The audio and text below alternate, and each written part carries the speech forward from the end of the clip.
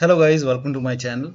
Today in this video I'm going to show you how to fix when controller is not working with the game on a Windows computer. Now the first step is to enable or disable Steam input and then restart the games. Now for this you can go to your library and then make a right click on the game. So I don't have the game on Steam. I have the game on Xbox app. So I'll show you with different games. So make a right click on the game and then go to properties and then go to the controller tab and then over here select enable steam input. And then you can launch the game once again and then check. This has worked for many players so it might work for you. If that does not work you can even disable steam input and then check check which one is working fine for you. Still not working. The next step is to now this is for playstation controller user. You can use ds4 windows and you can use the hid hide option this has worked for many uh, players so it might work for you. So if you have ds4 windows installed you can just launch it and then you can configure your controller and you can even use the hid hide option to get it working. Still not working. The next step is to update controller using playstation accessories app or xbox accessories app. So if you have xbox controller go to microsoft store and in the search option type in xbox accessories app and then click on Xbox accessories. Now install it. Once installed, you can launch Xbox accessories app. And once you launch it, uh, you have to connect your controller using the USB cable.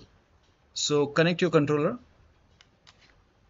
Once you connect your controller, you will it will detect your controller and then you will see there's three dots click on it and then over here if there is any update you will see update option update now. So you can update it.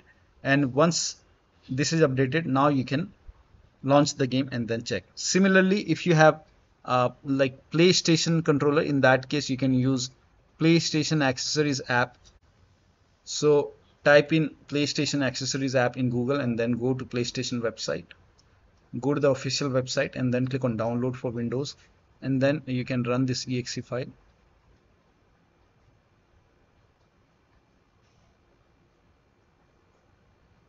just install PlayStation accessories app on your computer. Now, once you install PlayStation accessories app, you can launch it and then you can connect your controller. And once con controller, uh, it will detect your controller. And over here, you will see the update option. So if there is update option, in my case, it is already up to date. So if you see update, update your controller and then you can check. Now it's still not working the next step is to launch steam in big picture mode. So you can go to steam and at the top right over here you will see enter big picture mode icon. Uh, you can click on it.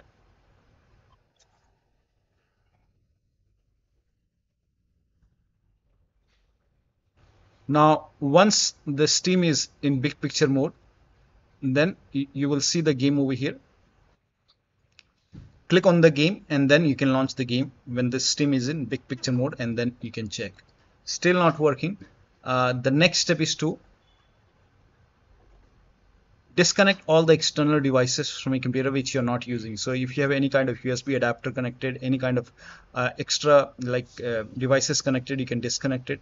Disconnect extra controller con connected to the computer. Sometimes we have extra controller the dongle connected disconnected.